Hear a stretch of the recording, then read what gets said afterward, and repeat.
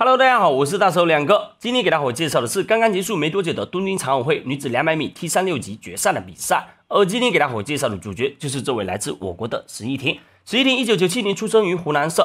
石依婷在小时候因为严重缺氧导致脑瘫，这也让石依婷的左手肌肉萎缩，属于四级肢体残疾。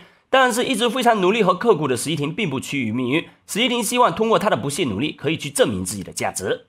也正是短跑让石依婷重新找到了奋斗的目标。石依婷曾获得里约残奥会女子200米 T 三六级金牌等等。现在的石依婷年龄才只有二十三岁。今天石依婷处在第六跑道的位置。本场比赛，石依婷的最大竞争对手就是处在第七跑道、来自澳大利亚的丹尼尔。比赛到底有多激烈呢？接下来我们就来一起欣赏精彩的画面。由于左手肌肉萎缩的缘故，这也让石依婷只能采用单手单膝下跪起跑，并且也没有办法使用起跑器。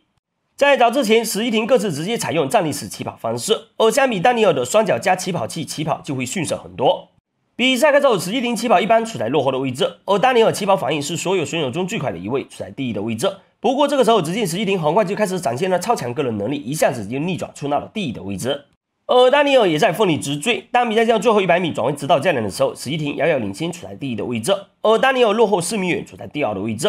这个时候，只见史依婷开始展现了超强后程加速能力，继续在奋力冲刺。而丹尼尔虽然也在咬牙直追，但是无奈完全不是史一婷的对手，只能眼睁睁看着距离被他越来越大。只见史一婷率先冲过了终点，最终史一婷甩开对手八米远，以二十八秒二一的成绩无悬念夺冠，而丹尼尔获得亚军。史一婷也追平了由自己保持的世界纪录，并且打破了残奥会纪录，并将残奥会纪录提升了零点三九秒之多。